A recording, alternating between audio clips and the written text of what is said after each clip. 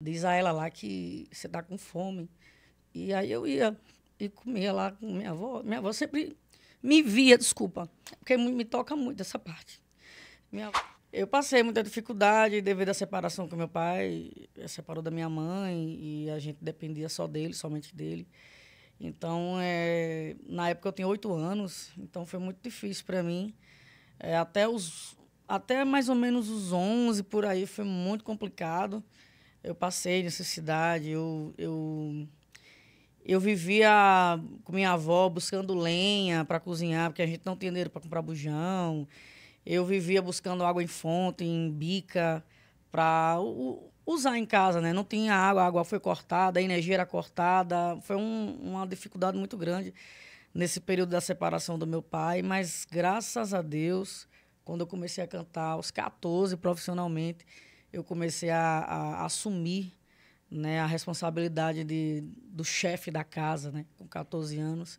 Minha mãe tinha meus dois irmãos mais novos, e aí eu comecei a pagar todas as contas, a, a voltar a uma vida digna, normal, de você ter a sua energia, de você ter sua água encanada, de você ter um, um, um botijão de gás para você cozinhar, porque realmente foi, foi muito difícil essa fase. Né? E tudo lá em Areia Branca mesmo. É, e nessa época aí que teu pai se separou com tua mãe, é que tu ficou morando ali com ela, era na zona rural ou era na cidade? No centro. É porque a Areia, a Areia Branca é muito pequena, mas é tudo muito perto. Muito perto, é uma cidade de 20 mil habitantes. Né? Então era, era tudo perto, povoados são perto, os bairrozinhos tudo pertinho. Eu, eu, moro, eu moro no centro, é, fica metade, nem para o povoado, nem para, como a gente fala assim, a nossa praça de, de eventos, o forródromo.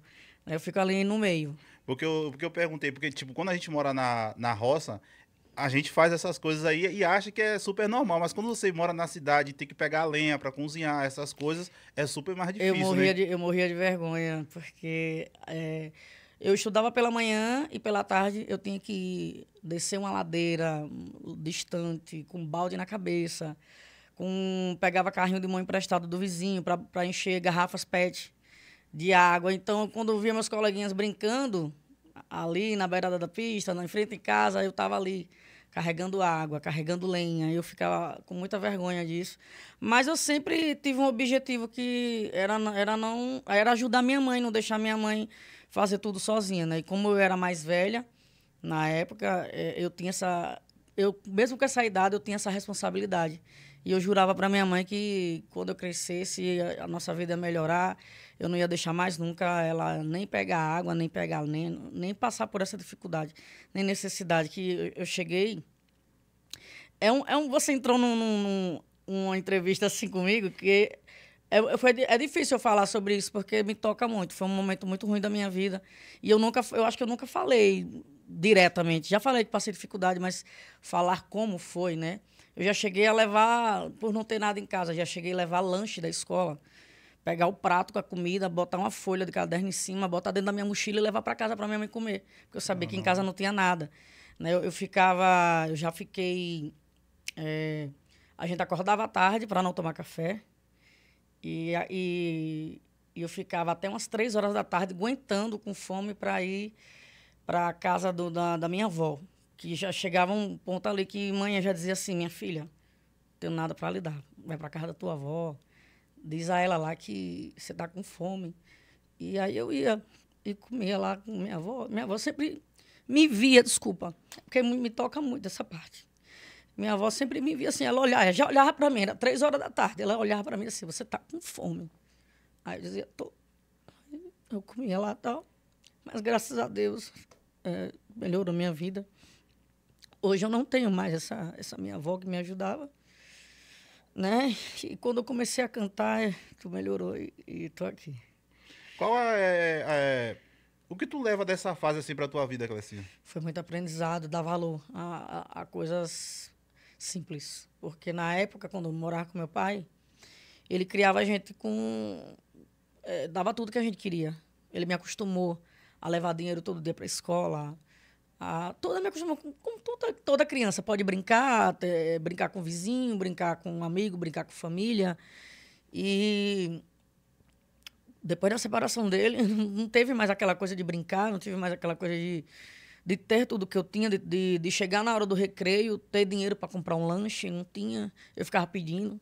Uma vez até uma colega da escola, eu lembro como hoje, estava na, na terceira série, eu fui quarta, é, a sala toda em silêncio. Ela disse assim: Ô professora, dá, dá, uma, dá uma bronca na, na Clecinha, que ela fica, fica lá em cima do muro pedindo lanche a todo mundo. Aí eu fiquei morta de vergonha, porque eu digo, poxa, eu, eu, tava, eu tava brincando com os meninos, me dá, paga um geladinho pra mim. Ficava brincando, né, com, com os meninos. Mas é uma brincadeira que vem, eu quero geladinho.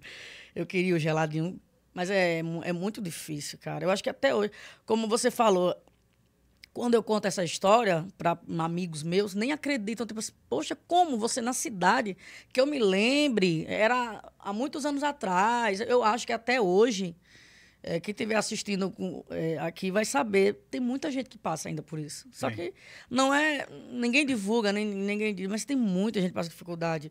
No meu direct, no Instagram, muita gente manda para mim muita coisa. É muita. Infelizmente, ainda no nosso país, muita miséria.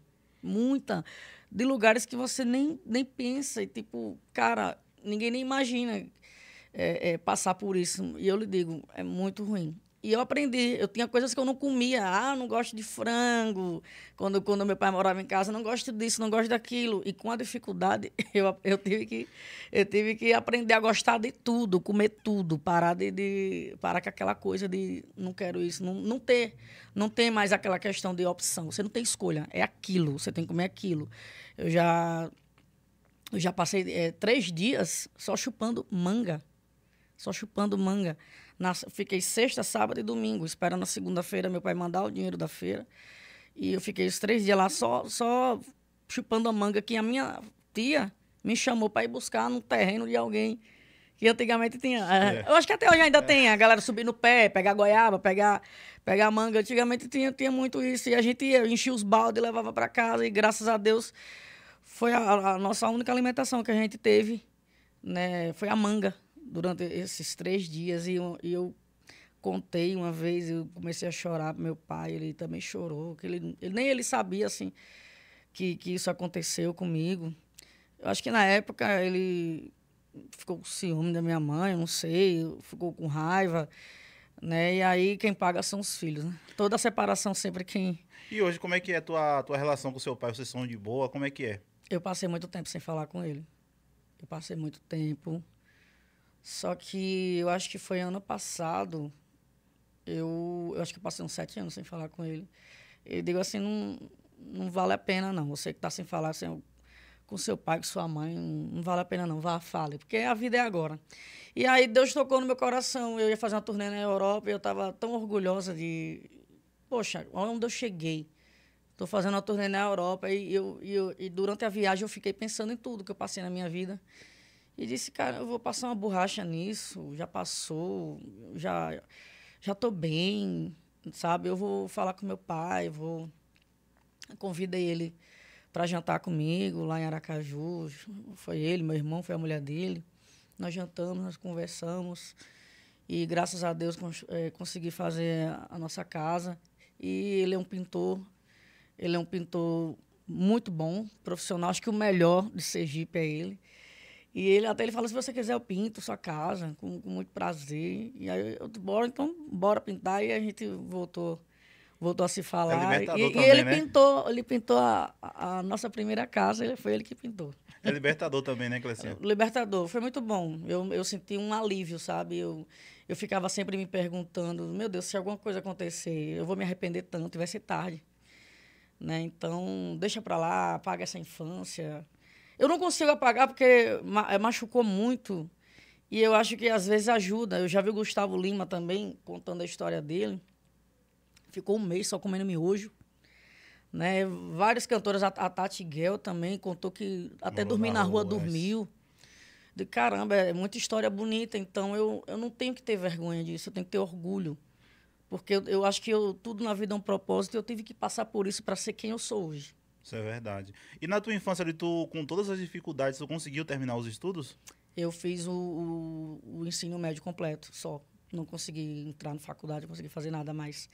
Porque eu já estava num período também que eu estava cantando e não estava aguentando estudar e cantar, estudar e cantar. Infelizmente, infelizmente, eu tinha um sonho de ser psicóloga na época e ou fazer gastronomia, né? Ainda, ainda dá tempo, né? Não, na, nada é tarde, né? Mas a, a devido à nossa correria e o meu sonho, que sempre foi cantar, né? Eu comecei a cantar na igreja, né? Então, eu priorizei cantar. Ainda bem, porque o Nando nós está sofrendo ouvindo suas músicas. É, estamos aí hoje sofrendo, tomando uma, né? Sofrendo no, na maneira boa, não sofrendo é, do passado, não. Deus é mais.